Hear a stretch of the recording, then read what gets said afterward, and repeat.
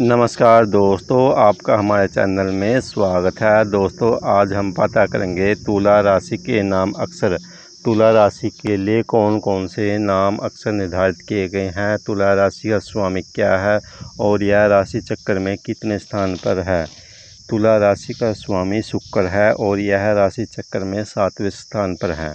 इस राशि के लिए रा, री, रू, रे, रो, ता, ती तु ते अक्षर निर्धारित किए गए हैं, जिनके द्वारा हम अपना नाम कौन सी राशि में आता है यह जान सकते हैं। धन्यवाद।